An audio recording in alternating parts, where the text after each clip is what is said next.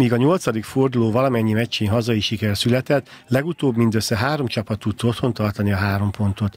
A Tiszakanyár öteire verte a Mándokot, a Máté Szalka 3-2-re múlta felül a Tuzsért, a Fehérgyarmat pedig egy núra bizonyult jobbnak a Sényőnél. Az egyetlen döntetlen, az egy végződő Kemecse Baktolórántháza találkozón született. A Szakói Tiszalökön győzött 2 núra, a Nagyesed Nagyhalászban nyert 3-2-re, a Tiszavasvári Nyírgyulajból távozott 2-1-es sikerrel, az Ibrány pedig Gyulaházán rúgott négy gólt úgy, hogy közben egyet sem kapott.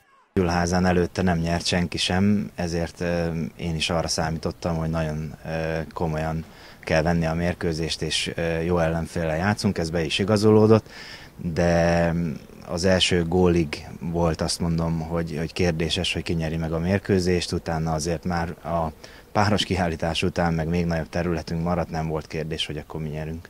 Az éllovas edzője szerint nagyon kiegyenlített a bajnokság, több csapat is esélyes arra, hogy az első helyen végezzen.